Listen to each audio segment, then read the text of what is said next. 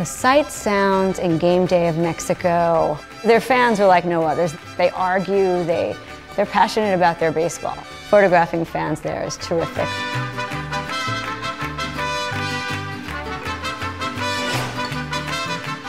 I connected with my good friend Lorenzo Bundy, who at the time was a coach for the Miami Marlins. He coaches in Mexico during the winter. He let the owners know that I was going to be following his team around specifically.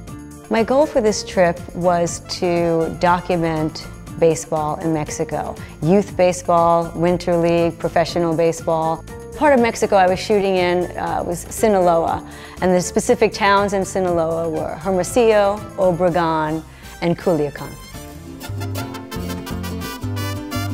One of the things I wanted to capture while I was there that I felt was unique was the uniforms that the players wear. The baseball uniforms have patches like all over them, almost like a, a race car driver's uniform.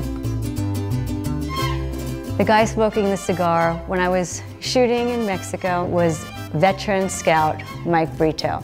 If you watch Dodgers on TV, you'll see him behind home plate with his famous radar gun and his fedora hat. And Mike is a legend. He discovered Fernando Valenzuela, Yasiel Puig. He's sent 21 players to the majors in all. The mascot photo was the mascot for the Culiacan Tomateros, and uh, the mascot's name was Pollo Tomas, so Thomas the chicken. And I wanted him to take his head off so I could do a little story of who is the man behind Pollo Tomas.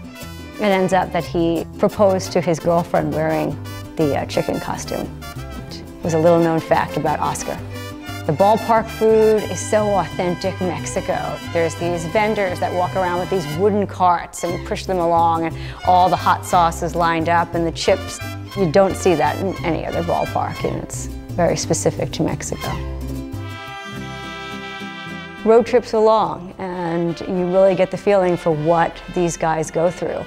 I showed up when they were just loading on the bus and everybody's putting their luggage underneath and their bags and in one of the compartments there was a bed like made like I'm like what is that like oh well that's where the other bus driver sleeps if they have a second driver sleeping underneath, it means that they're on the bus for 15 hours. So it just shows you how hard it is for, for everybody. The reason I like to shoot youth baseball in all the places that I go, and specifically wanted to do it in Mexico on this trip, is it really gives the, the, the grassroots, the sights and sounds and feeling of where these legends are from. I feel like that photo, not only does it show it's Mexico with the sand, the sun, the lights, the color, but also it's also showing what I love about baseball. I think what many people love about baseball is it connects generations. And there is a father, son, coach, player sitting on the bench taking a breather. And I'd say it's my favorite.